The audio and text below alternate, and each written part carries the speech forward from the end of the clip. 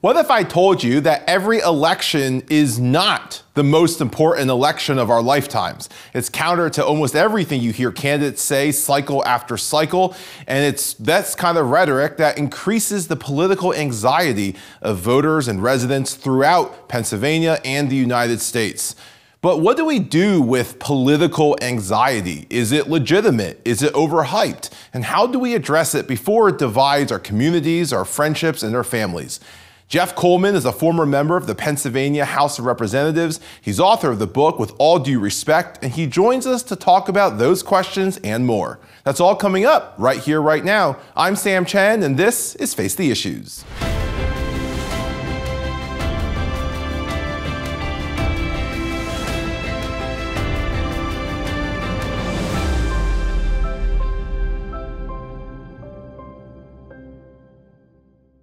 Good evening and welcome to Face the Issues. I'm Sam Chen.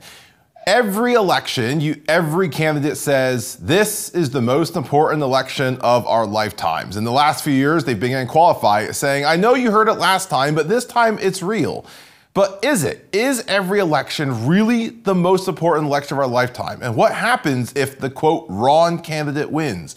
All of this has led to increasing anxiety among voters and even those not involved in politics every time the election comes around. So, how do we address that anxiety? What do we do about it? And what do we do when it affects our friendships and our relationships and our families? Jeff Coleman is a former member of the Pennsylvania House of Representatives. He is a past candidate for lieutenant governor, author of the book, With All Due Respect Recovering the Manners and Civility of Political Combat. Uh, he has been named to plenty of lists of the greatest political consultants in the state, and he joins us here tonight. Jeff, welcome back to Face the Issues. It's good to be back, Sam. Good to see you. It's good to see you as always. Uh, just such a joy to have you as part of this conversation. Uh, for our viewers who don't know, Jeff has has been a a mentor and role model of mine in my career in politics, and so it's always great to have him here. Uh, Jeff, let me just start with with that thirty thousand foot question. It's no secret. There, there needs to be no scientific study that shows that political anxiety is on the rise in the United States. I think every interview I do, uh, not not in the host seat uh, on other networks, I get asked. Is everything going to be okay after this next election? It's, it's almost a, a universal question in interviews now. Why is there so much political anxiety? Well, look, when when politicians say that every election is uh, is the definitive one for your lifetime, and that if you don't vote for me, the world will end. Really, that's what people are saying. If if you're especially these national campaigns, that if you do not elect me or select me for this position, everything you cared for, the American dream, your, the way your, your right to worship, your right to walk the streets in peace, your safety, your comfort, the comfort of your children, and your children's children will be gone. I mean, that's really the level of rhetoric. And you think about each of the presidential candidates this year spending at least $1 billion apiece to essentially say why the other person isn't the right person to be the president, that is creating a perpetual state of anxiety for people. I mean, the number of, of people that I've spoken to that says, my father was in hospice, my mother was dying, and the last thing they had on the TV was their favorite uh, cable news channel. Wow. And it wasn't, they weren't listening to song and scripture. You know, they were listening to, to a, uh, their own kind of soundtrack that confirmed that their blood pressure should be high and that there was nothing to live for. It's a really terrible way to live, and it's a horrible way to die. Yeah. Yeah, I often say that it's a bad way to do politics. It's a bad way to govern. It's a worse way to live, and that's kind of where we are now. It's we're not just yeah. talking about political people like you and me that look at this stuff. We're talking about people who who aren't in politics, and I think sometimes they're affected, uh, or their anxiety is even more so than those of us who do this for a living. Can you get into why it seems that those who don't do politics uh, end up being more affected by this? Well, I think people that don't know how to how the sausage is made, and I think even within the political bubble, you never can really figure out what the other side is doing hmm. until the end of a campaign when all the secrets are out and you see where people spent their money. But I think people outside think that the, there can't be this level of deceit in political campaigns people can't lie or distort or manipulate all the time. So there must be a kernel of truth in what they're saying. The other thing, though, I think we self deceive. sometimes. Meaning, we put our own filters on saying, I don't want to believe that truth, that fact, that information about the other person because I'll be left with no choice to vote for. And I've already decided who I'm going to vote for. So, new information I can't process. That's, I think, one of the challenges of being an outsider looking in on the political game. You want to be in on it too. And that, that makes sense. Jeff, let me ask you this. It, it, this. Obviously, we know that the work that political consultants do, and it's not every consultant, but the work that these campaigns and these consultants do is certainly drives up the anxiety. But did they yeah. create it? Or are there real issues that kind of underlie these anxieties that get brought to the surface because of the politics? Oh, that's a great question. I think if you look at the origins of fear, everybody lives with a certain amount of fear and anxiety. Mm-hmm. When a, a pollster takes the poll in a political campaign, they're looking for the little blips that would indicate that if this person who you like now, if you found out this little piece of information, would it make you more or less likely to vote for or against that person? When when you begin to poke at that little blip on the radar, that little piece of information in the poll, that is when you begin to exploit people's emotions. The leader, the person who's in charge of the campaign, the person who wants to hold that political office, has to sit down with that consultant and say, wait a second, are you kidding me? Well, this crosses a line. The problem is the only line for many politicians now is getting elected. Mm-hmm. So jumping over that line doesn't seem to prick their conscience at all. Uh, very few people have a worldview going into the campaign that says, I have an obligation not just to tell the truth, but to be responsible with the kinds of information I use because people are listening and watching. Yeah, there's there's some conversation uh, about the I, this idea of just war theory, right? In international relations, right. there's yep. justice. Uh, you have to go to war for a just cause, and if you go to war for a just cause, and that cause should also guide a certain just order in the carrying out of the war. And uh, I and others have made the argument that there there should be some form of just war theory for our political combat. I think you make that argument in your book. How should consultants go about, or candidates especially, go about this?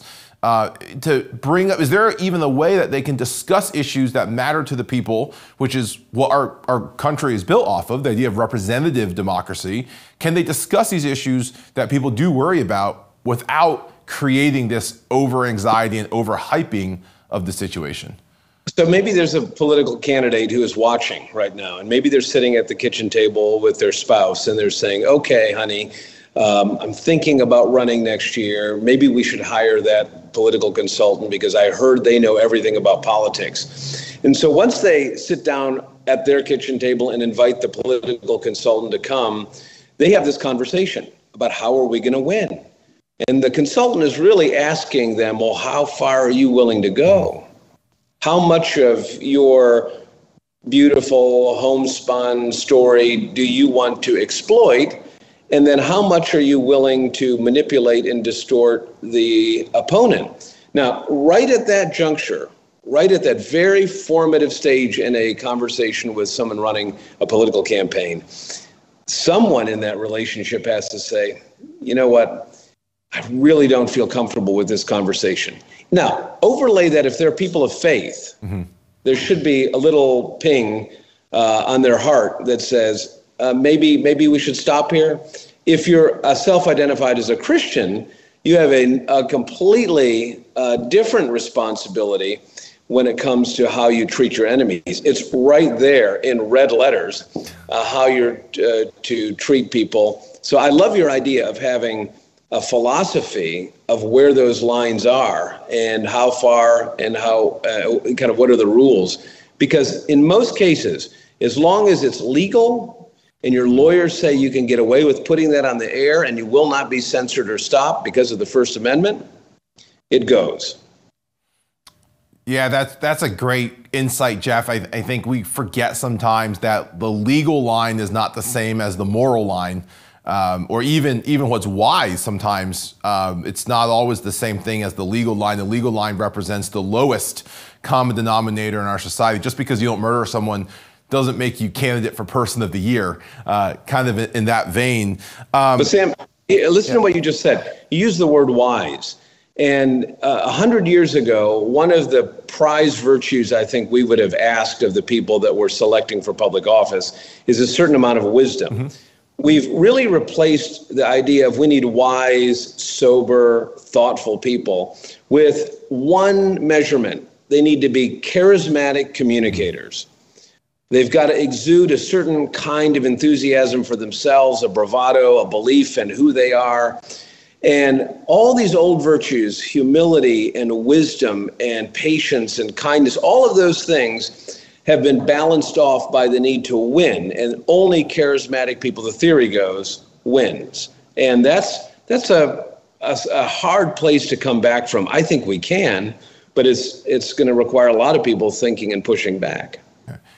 Jeff, it almost seems like what we've done, and this isn't just politically, but in, in our postmodern culture, we've replaced uh, these conversations about truth and ideas. And you know, certainly, as when I first got interested in politics as a young child, there were these great debates over ideas, uh, even controversial ones, things like abortion rights yeah. and personhood and taxes. And you had candidates debating ideas, and it seems now like that entire conversation has shifted from virtue just toward power. So instead of a real debate about whether or not abortion rights should be legal or at what point they should be legal or about personhood or taxes. It's now about who's going to have the majority. And, and, that shift from virtue to power, from wisdom to strategy, seems to be where we are now. Uh, when did we see that shift? And what do you think drove that shift? Well, I think it's. I think the kind, the way that we communicate today, the speed, the velocity of the the amount of information communication we have, has changed a lot of those rules. We're moving so quickly that at, from the beginning of this conversation that we're having now. Mm-hmm. To the end of this conversation, if I switch to position, we're moving so fast, some in the audience might not detect it. Mm-hmm. You would need a someone kind of an ombudsman or somebody looking over the top saying okay now wait a second stop rewind the tape. Can we put those those two sentences side by side? Because i think you are inconsistent. Once you've done that you have to present that view before something you've said you believe. Guess what nobody subscribes to a set of principles anymore mm. nobody is saying these are my fixed principles my true north i will never cross this line what most people in, in political roles are saying is where is the majority? Do I need to move towards that majority? And can I hold office holding that position? Because if, as soon as that, that position in the public changes, so does the opinion of the of the political leader. And they no longer become leaders, by the way. I'm using that generously. They really are followers. Yeah, oh, that's a great insight. Jeff, we're going to cut the break. When we come back, I want to pick up right there uh, and ask about the difference between leadership and, and those who are, are really followers. So don't, don't go away. We'll be right back. Face the Issues is produced and recorded in the studios of Lighthouse TV. Positively different.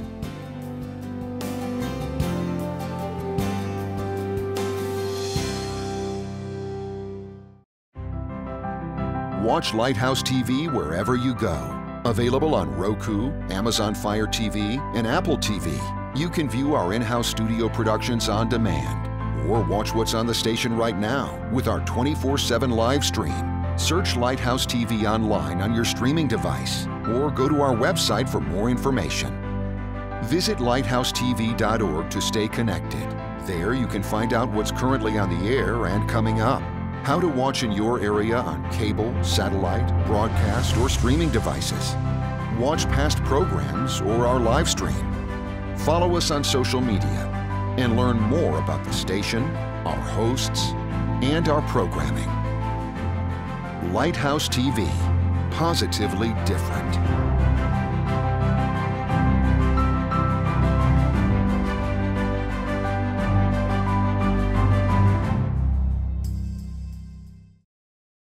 Welcome back to Face the Issues. Jeff, thank you again for joining us. I want to pick up right where we left off. When we, when we left off, you made a comment that what happens is that these leaders, and you're using that term generously, you said, is they really stop leading and they become followers. Can you elaborate on that? What makes sure. someone a leader? Why are these people no longer leaders? Well, I'm going to go back in, in, our history, and not too long ago, you know, they just split uh, American history in half, and you say, look, about at the halfway mark in the American story, what kind of leader were we looking for? Well, you'd have people that started out perhaps in a church, uh, at least uh, a certain kind of educational environment with certain kinds of parents, mm-hmm. and they would leave that home uh, with a with a sense of what they believed or what they stood for, and, and they really identified what was wrong with the culture, what was wrong with society, what was wrong with the direction of the country. And then they joined a political party that best express those views. And, and fast forward to today, what you essentially have are people that are saying, in my district, in my community, in my borough, my hamlet, my village, there are more Democrats than Republicans if I want to become a power player in my community, I'm going to be a Democrat. Mm. Same thing on the converse with Republicans. So people are allowing the circumstances of what is what they think is possible for them to get power. Here's the lie that you begin to tell yourself. You say, "But I won't change. I know who I am. There's nothing that can change who I am inside, even if I am in a party that doesn't agree with my worldview." that really be, shapes the idea of what it means to be a follower not a leader. Most people that I encounter who are putting their names on ballots don't have an idea where they want to take the town, the country, uh, the world, alliances that we have. They really are saying, what, what do you want? What do you want me to say? Program it in, repeat after the voter. Uh, and, and we hear that complaint from voters this idea that they're going to say whatever they need to say to get elected. How do I really know where somebody stands? But right. along those lines, Jeff, I mean, how do so these voters they they are upset with these elected officials or politicians or candidates who do this, and yet these candidates who do this are stoking the flames of political anxiety. So how do the voters or the we the people how do they parse through that and kind of quell that political anxiety? So I don't know, Sam, if, if you have this happen to you, but I have uh, I, on my phone, I get uh, text messages that say something like, "Hey, how are you doing?" Mm-hmm. or "What time are you picking me up?" And it's uh, it's a scam call. But those first two lines kind of get you intrigued, and the goal is for you to engage in a conversation, and eventually you're giving them your bank account information, your routing number, and all that. It's almost identical with what is happening in politics uh, the pollster calls in says, "Hey, do you like Sam or Jeff?" And you say, "Well, I'm kind of leaning towards Sam. I like I like Sam. I probably will vote for him." And they say, "Well, what if you know that that Sam uh, hasn't paid his taxes in the last 15 years? Or what if you know that every word that comes out of his mouth is a lie? Are you more likely to vote for him or not?" I say, "Well, I'll probably go with Jeff."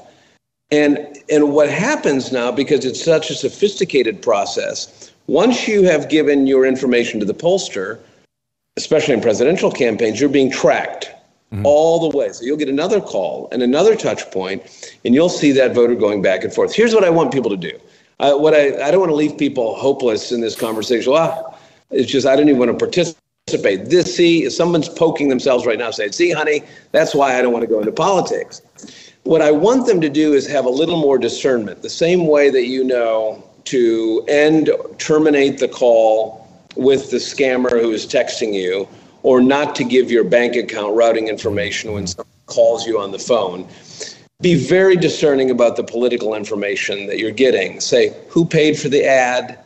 What were they really saying? Call the campaign saying, did you really mean to say that? In most cases, the harsher things that candidates say the candidate isn't willing to say them because they know they've crossed the line. They're using third parties to spread the bad stuff. And that's that's just a dangerous place for us to be in politics. We can challenge that, but it will take an awful lot of people to do it. Yeah, Jeff. Let me let me kind of fault with that. There are obviously we mentioned this earlier. There are issues that bring people anxiety that are real, legitimate issues. Uh, the cost of living uh, goes up. The economy isn't great. They're struggling to, to send their kids to school, to put food on the table. Uh, there's there's concerns about you know the, these matters, and, and for every different parts of the country, different walks of life, different faiths, cultures, so forth. They have different concerns. These are all legitimate. Uh, they look to the government for redress of a lot of these issues, yep. and you have these candidates who speak to this. At what point does it go from it's it's a legitimate concern to now this is something that's been overhyped, is causing a lot of anxiety? Like, how do you what do you tell a voter that says, okay, I'm going to, to push back on some of this rhetoric, but I'm still concerned about whether or not I can put gas in my car to go to work. First of all, one of the things that I think voters have to guard themselves against is this idea that the issue has to be solved at the state government mm-hmm. or the federal government, meaning um, we're talking about gas lines or inflation. There, there's of the bridge. The, if the bridge collapses, you know, what is the immediate response? Is that the responsibility of the ship uh, that crashed into the bridge? Is it a responsibility of the city where the bridge collapsed? Or is it all the responsibility of the government in Washington? What happens is when you have a tragedy like that and an interruption in a normal day, all of the uh, politicians are running to the cameras saying, I'll fix it, I'll be the one to fix it. Here's what has to happen. At some point, if that is not the responsibility of a state or a federal or local government or the shipping company, someone has to say, in my way of thinking, this is the person who's responsible for it. You actually don't have anything to do with this conversation. We don't know enough about what we believe to know who is responsible. You know, we can say we're opposed to public welfare programs that people should work. But then you say, well, what about somebody who is disabled? Yeah, but still, that should be the church or the family's responsibility. You say, but what about if this was a genetic mm-hmm. uh, situation? They weren't responsible. What if they have no parents? Well, see, we don't know, right? Every issue has these lines. We're just all a little confused. So we're listening to voices and personalities instead of reading books, reading newspapers, thinking and arguing with ourselves about what we believe. We've got to stay off social media, not dive straight into the conversation before we know what we really think. Yeah, I mean, I think that's fantastic advice. Gar- asking these good questions, di- digging into the details, understanding the nuance of that.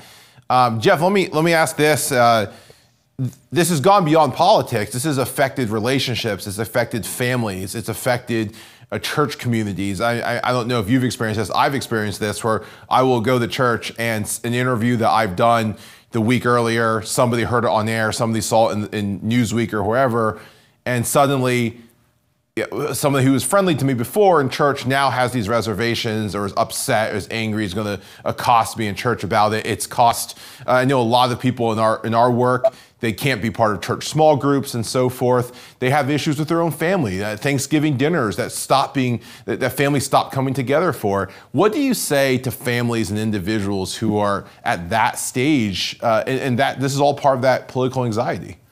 Well, first, I know something about every one of our viewers right now, and that is that every person who is viewing has a political view that was probably shaped by their personal experience. For as much as we want to say that I believe what I believe because of because I read the book, I read the studies, I know the science, we are really creatures of the churches we go to, the people that we hang out with. Our parents have a lot of a lot of influence uh, the, the hard things, the difficult things that have happened to us in life uh, and how we respond to that, that shapes our political views and how we. So here's what I, would love for people to do. Before you dismiss somebody and say, oh, I, can you believe they have that person sign up in their yard? Or can you believe that they told me that they're, they're not with us on House Bill particular number. They wouldn't sign my petition. And that's the end of the conversation. What we really have to do is first, I say this all the time, know the story first. Mm. Know why they believe what they believe. Because once you solve that riddle, you'll find that even though that Democrat or that Republican disagrees with you, you'll end up explaining to your husband or wife or your friend, let me tell you why they think that way. Do you know what happened to them? Do you know why they're such an advocate for this kind of program or bill? Don't talk to them about big government or, or small government or abortion or trans rights issue. Don't. You know what happened to them? And then suddenly, a, a person who was a political issue mm-hmm. is a person we can love people. we can we can treat people with a whole lot of respect, but it really begins at that level. If you've never, if you don't know these people and you have no interaction with them at all, and you're in traffic and you see their bumper sticker, you see the hair that you don't like their hairstyle, or they drive a hybrid and you drive a big F 150, you know, you immediately have friction and you immediately have to make a decision. So my recommendations are just imagine the story. Mm. Think through before you get mad at them and, and treat them as a, a political billboard. Imagine uh, the history 20, 30, 40, 50, 60, 70 years that led up to the moment that your car drove next to their car and they honked at you or they flipped you the bird, whatever that is. We can have a whole lot of grace for people when we imagine what their stories are. Um, I think that's fantastic advice. You know, we all talk about appealing to Washington's better angels. Sometimes we have to appeal to our own. Um, Jeff, thank you again for that insight. Don't go away. We'll be right back. Watch Lighthouse TV wherever you go. Available on Roku, Amazon Fire TV, and Apple TV. You can view our in house studio productions on demand or watch what's on the station right now with our 24 7 live stream. Search Lighthouse TV online on your streaming device or go to our website lighthousetv.org for more information. Lighthouse TV, positively different.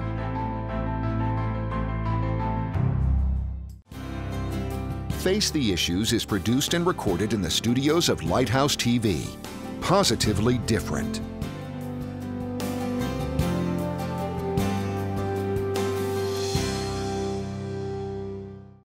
Welcome back to Face the Issues. Jeff, thank you again for joining us. I want to close out, and you made this point earlier about getting to know the person beyond the talking points. This is why we close every program by putting aside the content we just discussed and really just getting to know the guest. You've been a elected official, you've been a candidate, you've been a statewide candidate, you're married to an elected official. Give us that insight from behind, like instead of from as a voting a voter, as actually the person who is the elected official uh, I imagine all of this is very real in a different way. What is what is it that voters need to see about the people that are on the ballot that they might not? Well, it's the ordinariness of the people who you elect. From the president on down, uh, they live very, very ordinary lives. Uh, whenever I get a chance to talk to somebody who knows somebody famous, a general, a president, uh, a news anchor, I'm always uh, asking questions about what do they really like? What do they drive? How do they drive? What do they eat? And what I find out is that the ordinariness of all of us is what makes us pretty special. All of us uniquely different. Um, my wife and I, Rebecca and I, played this game about uh, who would we like to have at our dinner table. You know, of all people in history, boy, I'd like to have that person there and this person there. And it's a pretty rowdy collection of people. And uh, I hope one day we'll be able to assemble that that table. But I think that is fantastic advice. Uh, Jeff, you, you would always be welcome at my table. I think that would always be a fantastic continuation of this conversation. And again, my thanks to Jeff Coleman for joining us, my thanks to each of you for tuning in as well. We hope that you'll join us again right back here next week. Until then, my name is Sam Chen. On behalf of all of us here at Face the Issues, thank you and good night.